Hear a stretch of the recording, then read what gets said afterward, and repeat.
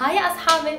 أنا اشتقت لكم كثير مثل ما بتعرفوا هلأ كلنا عم نكون موجودين بالبيت لأنه عم نجرب نمنع انتشار الفيروس كورونا.